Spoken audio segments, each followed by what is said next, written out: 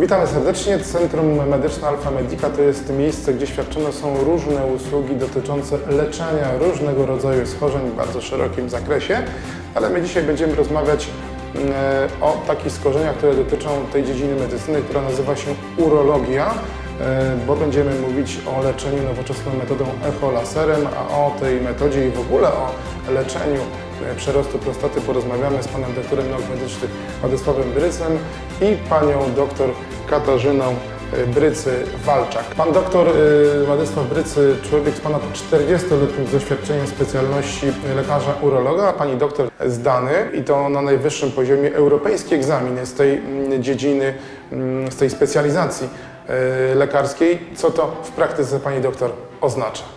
E, Tak, faktycznie zdałam e, egzamin z najwyższym wynikiem z egzaminu testowego. W Europie e, jest to egzamin specjalizacyjny, de, europejski, że tak powiem, także dosyć prestiżowy tytuł. Miałam to szczęście. Czym jest generalnie przerost prostaty? Co to oznacza w praktyce? Jakie objawy możemy zauważyć, które spowodują, że powinniśmy udać się do lekarza i rozpocząć y, diagnostykę, bądź też już potem, jeśli jest taka konieczność, ewentualnie leczenie? Mówiąc językiem prostym, to jest powiększenie gruczołu krokowego. Gruczoł krokowy to jest prostata. Ona się z wiekiem powiększa w wyniku rozrostu strefy przejściowej. To jest strefy, która położona jest wokół cewki moczowej, męskiej. Gruczoł krokowy powiększając się uciska na cewkę moczową i powoduje utrudnienie oddawania moczu, co w konsekwencji powoduje przeciążenie pęcherza moczowego, zaleganie moczu w pęcherzu, przerost ściany pęcherza moczowego, chorobę pęcherza moczowego, przenosi się to może na górne drogi moczowe, zastój moczu w nerkach z wodonerczem, z niewydolnością nerek, a w końcowym, skrajnym yy, sytuacji zejście śmiertelne w wyniku niewydolności nerek, jeśli to jest nieleczone oczywiście. Najczęściej taki pierwszy objaw wykapywanie moczu po miksji, później słabnięcie strumienia moczu, częstomocz, głównie częstomocz no, nocny, trudna miksja poranna, wydłużenie czasu oddawania moczu, e, w efekcie zatrzymanie moczu. Czy jest jakiś wiek, y, przy którym y, mamy taki, taki problem, od którego powinniśmy zacząć się badać? Takiego wieku konkretnego nie ma. Najczęściej są to objawy, chociaż mikroskopowo przerost gruczołu krokowego pojawia się już około 30 roku życia. Natomiast klinicznie po 50 roku życia najczęściej, chociaż zdarza się czasem we wcześniejszym okresie. E, W jaki sposób e, po rozpoczęciu tego leczenia ono przebiega? Jak e, może się ono odbywać? W jaki sposób e, jesteśmy, nie wiem, badani, diagnozowani, a potem właśnie już leczeni, jeśli ten przerost e, prostaty u nas na przykład występuje? Początkowe leczenie to jest leczenie zawsze farmakologiczne. Są takie dwie grupy leków, alfa-blokery, które rozluźniają mięśnie gruczołu krokowego i poprawiają strumień moczu. One nie leczą gruczołu krokowego, ale leczą objawy i powikłania, czyli chronią pęcherz moczowy przed niekorzystnymi następstwami. Natomiast druga grupa leków, e, e, blokery 5-alfa-reduktazy, powodują zmniejszanie gruczołu krokowego i hamują jego wzrost. Dopóki działają leki, to jesteśmy z tego zadowoleni. E, Później leki przestają działać i trzeba wybrać jakąś formę leczenia inwazyjnego. E, To też zależy od tego, kiedy się pacjent zgłosi. Jak pacjent się zgłosi w późnym okresie, to farmakoterapia jest mało skuteczna i zależy od wielkości gruczołu krokowego. E, Wybieramy metodę leczenia. Oczywiście zmierzamy do metod jak najmniej inwazyjnych. Taką starą, klasyczną metodą to jest normalna, otwarta operacja przezbrzuszna, obarczona wieloma powikłaniami, jak każda chirurgia otwarta. E, Stąd ciężar zaczął być przenoszony na operacje przezcewkowe, czyli dostęp do gruczołu krokowego przez cewkę moczową, nie otwieranie brzucha. E, Wiąże się to z tym, że praktycznie wszystkie operacje przezcewkowe e, uszkadzają cewkę moczową. Trzeba przeciąć cewkę moczową i dopiero wycinać gruczoł krokowy. Operacje przezcewkowe, najbardziej, najszerzej stosowana, to jest resekcja, elektroresekcja przezcewkowa gruczołu krokowego. Wiąże się głównie z krwawieniem i powikłaniami, które, które są, że tak powiem, wynikiem krwawienia. Natomiast ma ograniczenie w związku z krwawieniem u pacjentów, którzy przyjmują leki przeciwkrzepliwe czy antyagregacyjne. Ta grupa pacjentów znacznie się teraz poszerza, ponieważ praktycznie każdy ma stenty zakładane, chory jest na serce i bierze leki przeciwkrzepliwe, bądź z, impla z implantacją rozrusznika czy kardiowertera, e, co uniemożliwia stosowanie prądu elektrycznego, bo nożem jest prąd elektryczny. Stąd poszukiwanie nowych, ciekawszych metod, między innymi z zastosowaniem lasera. Właśnie, panie doktorze, metoda echolasera to tak bardzo, bardzo, bardzo fajnie brzmi w nazwie. Czym ona różni się od tej klasycznej metody? Jakie jest przewaga właśnie tego e, nowoczesnego już leczenia przerostu prostaty? To jest na zupełnie innym biegunie, biegunie bezinwazyjności, można powiedzieć, dlatego że pacjent po pierwsze nie wymaga znieczulenia ogólnego czy yy, dolędźwiowego, Robi to się w znieczuleniu miejscowym. Nie używa się prądu, a więc wszelkiego rodzaju stymulatory nie przeszkadzają w tej operacji. Yy, poza tym nie wchodzi się do cewki moczowej, tylko zabieg operacyjny wykonuje się przez krocze, ale też nie jako zabieg operacyjny, bo przez krocze wpływa się tylko igły.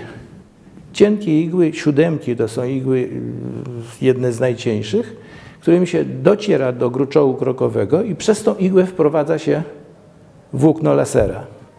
A więc pacjent nie musi odstawiać leków przeciwszepliwych, może mieć stymulator serca, nie wymaga przetoczenia krwi, bezkrwawo przebiega.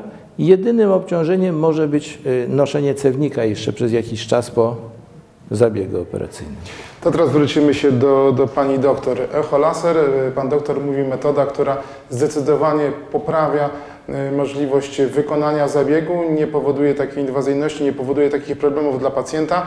To jest e, totalna nowość, pani doktor, czy to już chwilę funkcjonuje na rynku, a tym samym, co też na pewno dla pacjenta ważne, jest metodą sprawdzoną. E, tak, jest to metoda, która właściwie teraz weszła na rynek niedawno, polski, natomiast e, na rynkach zagranicznych, zwłaszcza we Włoszech, gdzie ona została e, stworzona właściwie, już funkcjonuje od dłuższego czasu.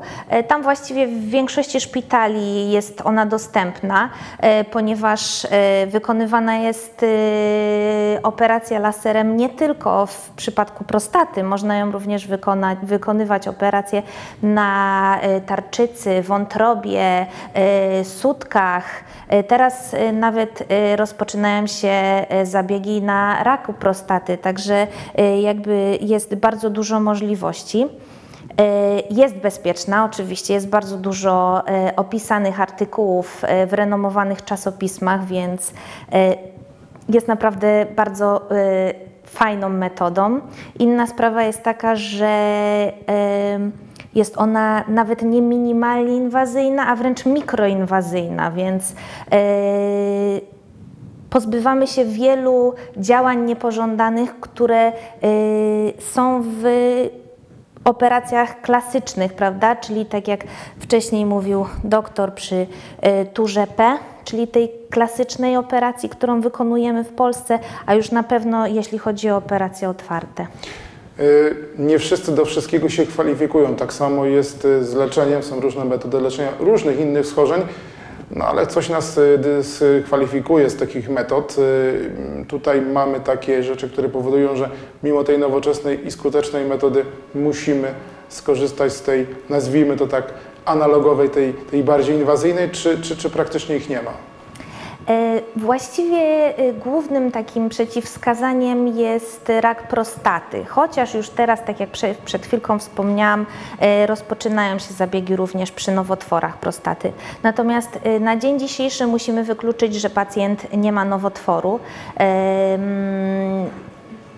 A tak poza tym to właściwie jest dużo mniej przeciwwskazań niż do wszystkich pozostałych operacji, dlatego że tak jak wcześniej było wspomniane, pacjent może mieć e, rozrusznik, e, może przyjmować leki przeciwzakrzepowe, e, których właściwie nie trzeba odstawiać, jak jest w przypadku innych operacji. Nie jest narażony na znieczulenie ogólne. Jest wielu pacjentów obciążonych różnymi innymi chorobami, które wykluczają pacjenta z znieczulenia, prawda? Tutaj wykonujemy zabieg w miejscowym, czyli e, pacjent dostaje znieczulenie właściwie w krocze. Tak jak pani doktor y, powiedziała, y, zabieg jest ma, praktycznie mało inwazyjny, nie ma e, praktycznie przeciwwskazań do jego wykonania, jeśli tak, taka osoba, pacjent go potrzebuje. Powiedzieliśmy o technologii już samego wykonania tego zabiegu, natomiast zawsze to jest jednak jakaś tam e, inwazja, może nawet mikro, ale jednak, e, no więc czego się spodziewamy na tej sali operacyjnej, jest to jakoś monitorowane, doglądane, no przeciętnemu pacjentowi kojarzy się, że jak ma operację, no to jest, nie wiem, anestezjolog e, i tak dalej. Jak to wygląda tutaj?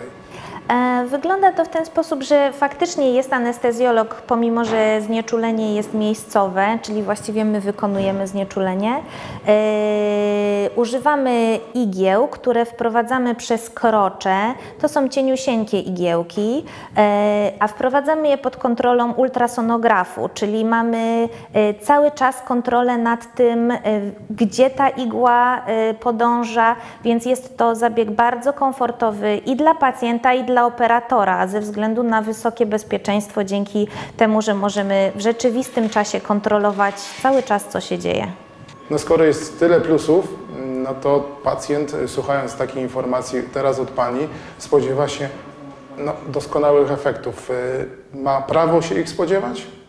Oczywiście, po zabiegu e, u pacjenta poprawiają się objawy tak zwane LAC, czyli z dolnych dróg moczowych. Pacjent e, przestaje tak często chodzić do toalety, przestaje mieć parcia na glące, przestaje mieć e, pokapywanie moczu po mikcji, czyli jakby komfort życia się zdecydowanie poprawia. Oczywiście czasem pacjenci mają bardzo duże gruczoły krokowe, co wymaga powtórzenia zabiegu, prawda? Natomiast to się bardzo, bardzo rzadko zdarza. Czyli nie ogranicza funkcji seksualnej. Nie ogranicza absolutnie funkcji seksualnych. E, Tutaj jest też dużą zaletą to, że e, pacjent e, ma właściwie zminimalizowane ryzyko zaburzeń erekcji w przyszłości i ejakulacji, co jest jakby dużym ryzykiem w pozostałych zabiegach. Pan doktor mówił nam o tych klasycznych zabiegach. No nie jestem lekarzem, ale rozumiem, jeśli komuś rozcina się podbrzusze, jeśli gdzieś inwazyjnie wchodzi się w organizm człowieka, no to wymaga to pewnego rodzaju rekonwalescencji, wyciągnięcia nawet szwów. Jeśli dobrze mówię, tutaj mówicie Państwo o minimalnym, jakiejś minimalnej inwazji, więc rozumiem, że nie wiem, to trzeba po prostu odpocząć, nie wiem, 24 godziny, 48, dobrze myślę? Czy, czy, czy... Dokładnie. Zabieg to jest właściwie tak jak y, normalna biopsja. Igiełką pacjent ma nakłuwane krocze, bez żadnego nacinania tkanek. E, Docieramy do gruczołu krokowego, minimalnie inwazyjnie, e, więc rekonwalescencja jest dużo krótsza niż e, klasycznie. Na początku pacjent ma założony cewniczek, ale już staramy się go usuwać następnej doby. Oczywiście w niektórych przypadkach pacjent wymaga cewnikowania przez nieco dłuższy czas, prawda? Natomiast to są pojedyncze również przypadki bardziej zaawansowanej choroby.